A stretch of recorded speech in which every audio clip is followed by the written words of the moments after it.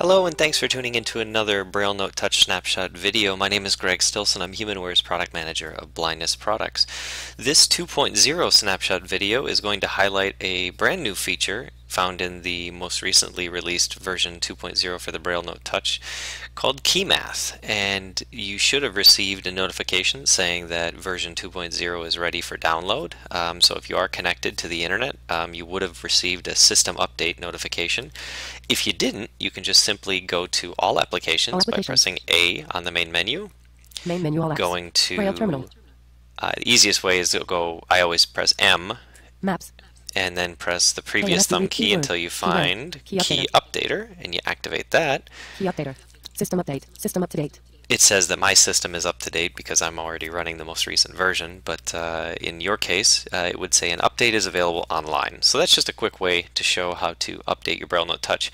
As I said, it would show up normally Contacts. in your notifications. Just if you click on the notification with your router key, um, it'll automatically start the installation of version 2.0.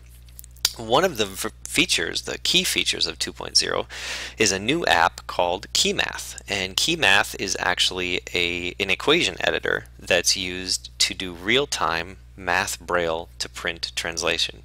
And what that means is that as you're writing in Nemeth or UEB uh, math, it will in real time uh, convert that to perfect looking print math, which is really, really cool and especially brings major independence to the students in the classroom so that they can actually write their math assignment on the on the Braille note and have it printed out immediately for the classroom teacher. So that's what we're going to show today is a sample of what it would be like in a classroom to do the math equations. So first thing we're going to do is set our Braille code. So I'm going to go to all applications again. All applications. By default it's in Nemeth, so if you are a Nemeth user you don't have to do any of this. Braille terminal. And I'm going to press K. Keep. And go next thumb key or continue to press K until I find key math. There it is, key math. I'm going to activate that with the router key and I'm going to go down to the key math settings. Create. It says create. Open. Open. Settings. Or settings. I'm going to activate settings. Preferred Braille code. And I'm going to navigate to preferred, preferred, preferred Braille code. And it says Nemeth right now. That's fine. If I preferred activate that, you see you have Nemeth, UEB, or French. In this case, I'm going to choose Nemeth. Preferred and activate that. And now I'm all set with my Nemeth Braille code. I went back to main menu with the home button on the circular, circular button on the front of the device. Now, what we're going to do is we're going to go to the word processor, just as if I was going to take my notes in my literature class or history class or whatever else. So I'm going to go to word processor by pressing W. Word processor, keyword. And press enter. Keyword menu, create. And I'm just typing on the glass of the Braille Note Touch, but you obviously could be using the physical keyboard case that comes with the Braille Note Touch as well. I'm going to create a document by just pressing C. Create. And press enter. Loading. Please wait three period. It says loading, please wait three periods. I just realized. I have the speech pretty fast, so I'm going to slow that down by pressing enter and dot three. So now I am in the blank document. I'm just going to write my name. So Greg. Greg. Stilson. Stilson. And I'm going to press new line. I'm going to write algebra. E deleted. If I can type. E deleted. Algebra. Algebra three. Three. End of document. And then we're going to write chapter, chapter four. Four. Exam one. Exam one.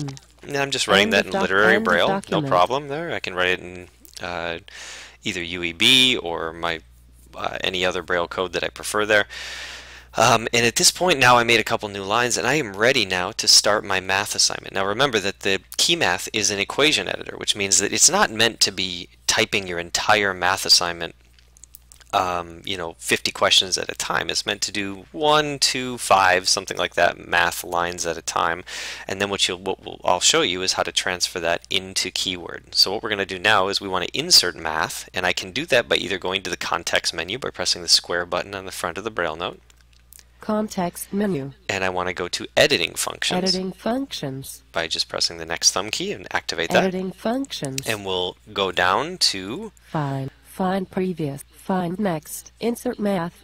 Insert math. And, and it says backspace and M. And that's how you insert the math. Is I could in instantaneously press backspace with M. So I'm going to activate that to now insert my math equation. Name it and you heard it say Nemeth. it says loading, please wait. And now we are in our key math math editor. And I am ready to start typing my I'm going to just do three questions quickly. So I'm going to type in Nemeth Braille. I'm going to type number sign 1 punctuation indicator low D for period. And I'll type in open fraction indicator 1 over 2 close fraction x plus 3y space equals 27 so there's our first equation now it may not show up right away because as soon as I press enter boom, now you should visually see that in print on the screen. And if I want to go back up, I can press space with dot 4 to go to the previous line. 1. Open frac 1 over 2 close frac x plus 3y equals 27. And at that stage, we can hear exactly what we wrote. Now, keep in mind that while you're writing your equation, you're writing in raw Braille dots, and so the text-to-speech doesn't read it until you've actually completed the line. Now, I can read the current line by pressing space with C as well. So that's the first one. So we wrote that from memory. We knew how to write the fraction indicator. Now we'll do number sign 2, punctuation indicator, and now let's do 27 is greater than. Now let's say that I forgot how to write the greater than symbol. Now we have a, a tool in here that is uh, called the symbol selector that allows you to insert symbols. Now I can activate, activate that using the context menu again by pressing space with M or the square button. Context menu. And I'm going to press next. next find until I find and export preview. Back save a copy. Insert symbol. Insert Backspace symbol. With dots 3 5. backspace with dots 3 5 or the IN symbol. So I'm going to do that right now by activating that. Symbols list. Here's Nemeth our. Nemeth symbol selector, and I want to do something that is comparison symbol. So I'll press C, Comparison symbols. and I'm going to activate that. Equals. And we want to Greater go or less to or equal. Directly over. Directly under. Greater than. greater than. And it not only says greater than, but it shows me in Braille the symbol on how to create that or how to write that. So I'm going to activate that now. Blank. And now we see that 27 is greater than number time 15. And now I'll read that line back with space with C or press enter and then go back up. 2. 27 greater than 15. So now we wrote Bottom. 27 is greater than 15. We can also do shapes. So I'll do number thing 3. And I want to do a triangle, but I forgot how to do a triangle. So I'll press backspace and IN or backspace dots 3 5. Symbols list. And I want to do shape symbols, symbols. So I'm going to press S again. Shape symbols. There's shape symbols. Shape Activate indicator. that. And we want to find triangle. So I'll press T. Triangle. Boom. Right there, I see that it's the looks like a dollar sign T or an EDT uh, kind of shape. So I'm going to press that. Blank. So we wrote the dollar sign T or the symbol for triangle, and now I'll do open parentheses with the sides of 4, comma, space 7, comma, space 9, close parentheses. Dots 3. And let's four, hear that fi- back. 3. Triangle 4, 7, 9. And I'll press enter, and you should see that also populated in the visual preview. So now we've written our math equations. That's great. But now we need to put those actually in our math assignment. So to do that, we need to export. You may have saw that in the, um, you may have already seen that in the uh, context menu, but it's backspace and E is the shortcut. So to export this to the clipboard, so we're going to take this and put this on our clipboard by pressing backspace with E. Export it to clipboard. Preferred Braille code. Preferred and. I need to actually manually switch back to keyword because I was previously in key math. So we'll do a recent applications by pressing Recent apps. space and lower F. And Clear we'll all go back to keyword Key updater. Keyword menu. and I'll Edit press box. enter there. End of document. So there's keyword. Now we're going to press backspace and V to paste it. Normally, if you've, if you hadn't gone into key math before, it would have just switched right back to keyword. Since I had messed with the Braille codes in the past, um, it switched me into that Braille code thing. So I'm going to press backspace and V now.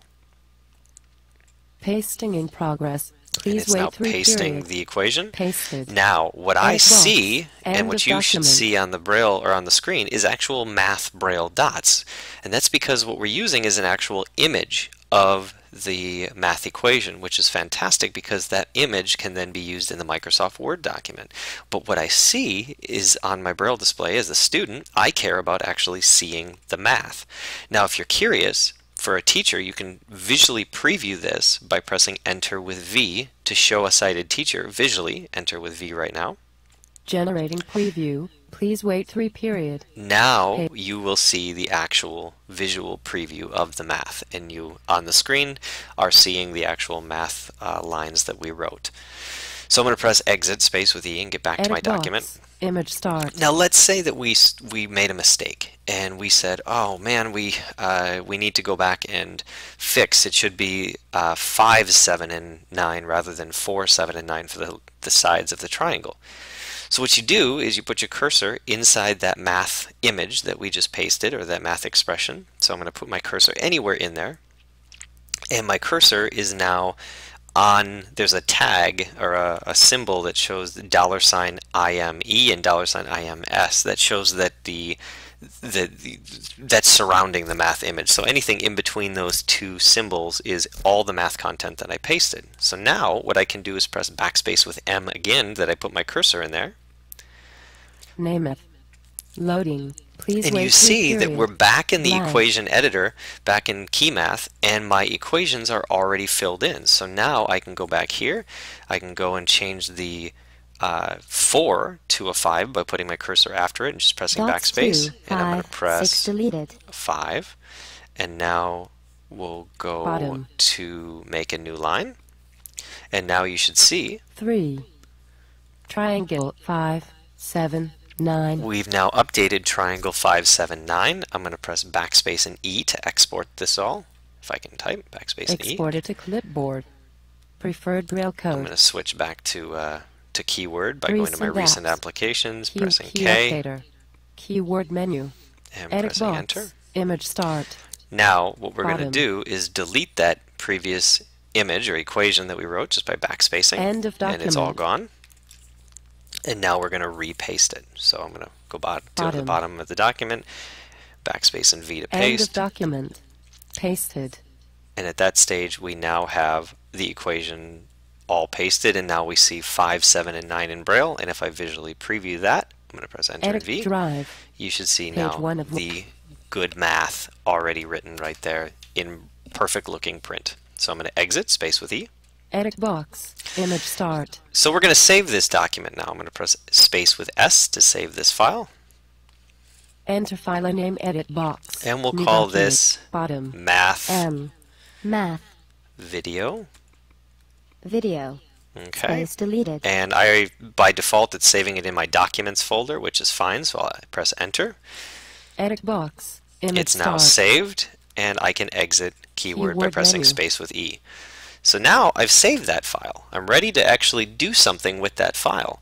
Now what I could do is print it. So I'm going to press P. Print. And what I always tell people is if you have a printer, make sure you install the printer application from the Google Play Store because every printer has a different application. In my case, I have an Epson printer that I installed the Epson ePrint application. If you have an HP printer, you typically want the HP printer plugin um, or the HP iPrint app. One of the two will usually work. And uh, in most cases, uh, you can print wirelessly to a printer if it's connected to the network. The only one that'll actually let you print when you connect to a printer is the HP Print Service plugin.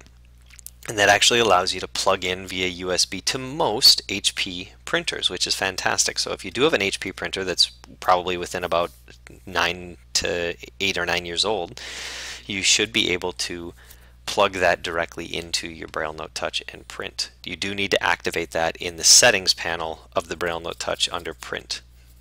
So what we're going to do now is print it by pressing enter. Key files. And I want to math test dot doc. go to video Math Video docs. and activate that. Loading. Please wait three period.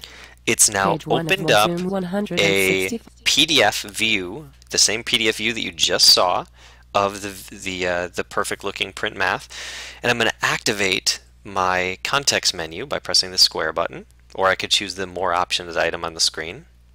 Send file. We see send file. we Open can with. email that, which is fantastic. We could email the PDF. I'm going to press next again. Download. Download, next again, and there's print. If I activate print, Loading document.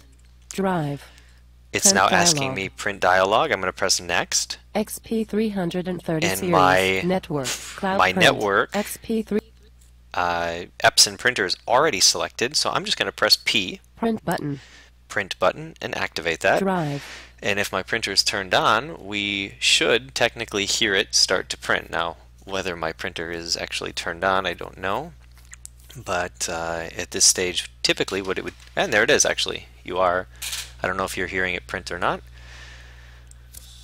but I'm actually getting some movement out of my printer, and we are hearing it actually print. And it just spit it out and I am completely connected wirelessly to my printer.